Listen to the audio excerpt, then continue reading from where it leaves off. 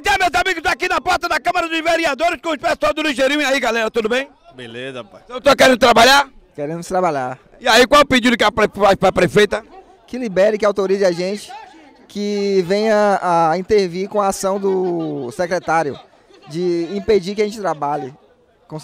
É um trabalho prestado à comunidade, temos relatos dos usuários, é, falam muito bem, que estão sendo bem servidos, graças a Deus, e a gente quer a legalização. É simplesmente isso. Entendeu? Porque a gente quer trabalhar. Ainda continuo aqui na porta da Câmara dos Vereadores aqui e eu tô com a galera do Ligeirinho. Eu agora tô com a galera da como é que é, rapaz? Caranguejo, é lá da Itinga. Lá também tem Ligeirinho? Com certeza, lá no Caranguejo também tem ligeirinho e temos recebido diversos elogios da população, porque além do, da prestatividade do nosso serviço, eh, o nosso roteiro também eh, abrange roteiros onde as topics não vão, por exemplo, eh, o ônibus segue o seu percurso, os nossos ligeirinhos eles entram em ruas que não vai, comunidades que são que não é, eh, prioridade para os transportes alternativos. E a gente faz esse transporte indo até essas comunidades para beneficiar os usuários. Meus amigos, ainda correndo atrás do problema dos ligeirinhos. Eu estou por aqui, pais e mães de família, tentando reivindicar os seus direitos. Mas por falar em motorista, por falar em quem está dirigindo, por falar em quem está ganhando, para conversar com essa galera é fácil, mas o difícil é procurar um usuário. Eu estou vendo o senhor aqui no meio, mas eu estou vendo que o senhor não parece ser motorista de ligeirinho, o senhor é usuário. Sou usuário, graças a Deus. O que, que, que o senhor acha dessa nova modalidade, dessa nova opção de transporte em Lauro de Freitas? Fogou, ficou barato, ficou melhor, ficou gostoso, é mais rápido? Em todos os aspectos, é, é melhor para a população, é um bem para a população.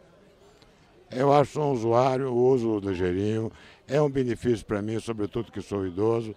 Não vejo nenhuma razão, sentido, a não ser absoluta autocracia, abuso de autoridade, tirar pai de família do seu trabalho e tirar um conforto do cidadão sem consultar o usuário.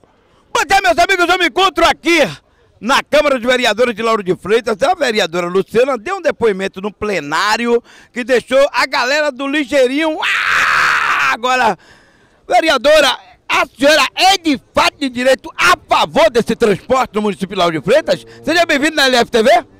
Então, para mim é sempre uma grande satisfação poder estar falando para a LFTV e hoje, em especial, falar sobre os ligeirinhos é bastante satisfatório, porque eu sou uma pessoa que posso falar da grande satisfação de ter uma pessoa que convive comigo, que é uma pessoa que me ajuda bastante e ela é usuária dos ligeirinhos. É, para que eu possa sair de minha casa todos os dias e poder ir para a rua, poder trabalhar, poder ser vereadora, entregar minha casa para ela, ela depende dos ligeirinhos, eu dependo dela.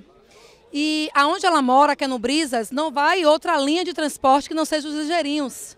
Então, eu conto com a regulamentação dos ligeirinhos para que a gente possa ter mulheres como ela e homens também que trabalham na nossa cidade, que precisam ter transportes alternativos, que possam sair de suas casas e possam trabalhar, que possam levar o pão de cada dia para dentro de suas casas, que possam estudar, adolescentes, jovens. Então, os ligeirinhos precisam ser regulamentados na nossa cidade. Então, eu conto com isso. Nós vamos poder levar esse pleito para a nossa prefeita, que ela possa ter essa sensibilidade junto com o nosso secretário de transporte de nossa cidade e com essa Casa Legislativa e com vereadores e vereadoras avançadas que pensam no crescimento de nossa cidade. Ligeirinhos, conte conosco. Pois é, tá vendo vocês? É, essa é a vereadora Luciana. Obrigado, Lu. Um abraço.